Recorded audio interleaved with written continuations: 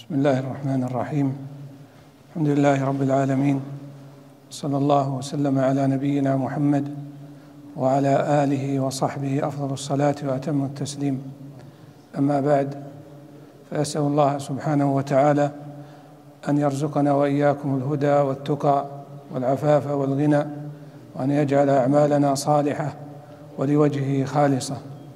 أيها الأحبة خرج أبو هريرة رضي الله عنه مرة إلى السوق فقال يا أهل السوق ما أعجزكم؟ فقالوا لما يا أبا هريرة؟ فقال الناس يقتسمون ميراث محمد صلى الله عليه وسلم وأنتم في السوق تبيعون وتشترون؟ فقالوا أين يا أبا هريرة؟ قال في المسجد. فانطلقوا مسرعين إلى مسجد رسول الله صلى الله عليه وسلم وجلس رضي الله عنه ينتظرهم. فلما رجعوا قالوا يا أبا هريرة ما رأينا شيئا. فقال ما وجدتم احدا في المسجد؟ قالوا بلى. قال ما وجدتم؟ قالوا وجدنا قوما يصلون وقوما يقرؤون وقوما يتذاكرون الحلال والحرام. فقال هذا ميراث محمد صلى الله عليه وسلم. وكان ابن مسعود رضي الله عنه في نفر من أصحابه فمر أعرابي فقال يا أبا مسعود ما اجتمع عليه هؤلاء؟ قال على ميراث محمد صلى الله عليه وسلم يقتسمونه. ما هو هذا الميراث؟ هو الذي أخبر عنه النبي صلى الله عليه وسلم أن الأنبياء لم يورثوا دينارا ولا درهما إنما ورثوا العلم. فمن أخذه أخذ بحظ وافر. العلم أيها الأحبة مكانته عالية ومنزلته رفيعة. ولذلك جاء في القرآن آيات كثيرة في بيان فضل العلم وبيان منزلة أهله. فيقول إبراهيم عليه الصلاة والسلام لأبيه إنما عندما دعاه إلى التوحيد يا ابت إني قد جاءني من العلم ما لم يأتك فاتبعني أهدك صراطا سويا. ويقول جل وعلا ممتنا على داود وسليمان بالعلم ولقد آتينا داود وسليمان علما وقال الحمد لله الذي فضلنا على كثير من عباده المؤمنين. ولم يأمر الله عز وجل نبيه صلى الله عليه وسلم بالزيادة من شيء إلا من العلم. وقل رب زدني علما. ولما اعترض قوم طالوت على نبيهم كيف يكون طالوت عليهم ملكا وهو لم يؤت من المال شيئا؟ يعني ماله قليل. فأخبر الله أخبر نبيهم لهم أن الله اصطفاه عليكم وزاده بسطة في العلم والجسم ففضله الله سبحانه وتعالى بالبسطة في العلم والجسم. والعلماء أخبر الله سبحانه وتعالى أن لهم مقامات عالية ومن ذلك أن الله أشهدهم معه ومع ملائكته على أعظم مشهود به. فقال جل وعلا شهد الله أنه لا إله إلا هو والملائكة وأولو العلم قائما بالقسط لا إله إلا هو العزيز الحكيم.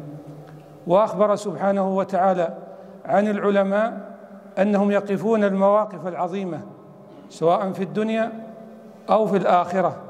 قال الذين أوتوا العلم ويلكم ثواب الله خير لمن آمن. وأيضا وقال الذين أوتوا العلم إن الخزي اليوم والسوء على الكافرين. في آيات كثيرة لو قرأتم القرآن وتدبرتم في مواقف العلماء وبيان ما يجب على الناس وإيضاح الحق وشهادتهم على الناس فالعلماء منزلتهم عظيمة. ومن ذلك أيضا أن الله عز وجل أمر بطاعتهم فطاعة العلماء أعظم من طاعة الآباء والأمهات. يقول الله تعالى يا أيها الذين آمنوا أطيعوا الله وأطيعوا الرسول وأولي الأمر منكم وأولي الأمر هم العلماء والأمراء. ثم قال بعدها فإن تنازعتم في شيء فردوه إلى الله والرسول إن كنتم تؤمنون بالله واليوم الآخر. والرد إلى الرسول صلى الله عليه وسلم في حياته. والرد إلى سنته بعد مماته.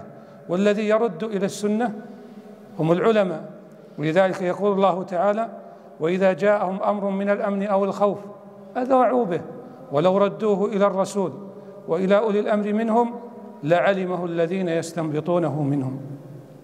والله سبحانه وتعالى أمر بالرجوع إلى العلماء وسؤالهم فقال جل وعلا فاسألوا أهل الذكر إن كنتم لا تعلمون.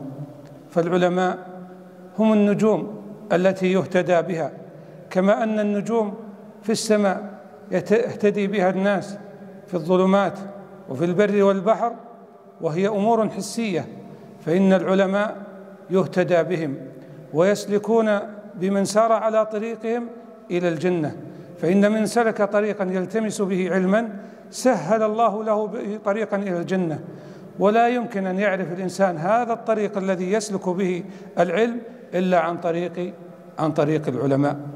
فالذي ينبغي أيها الأحبة أن نحرص على علمائنا وأن نجتهد في الحضور عندهم والسماع لهم وأن نستدرك حياتهم وصحتهم.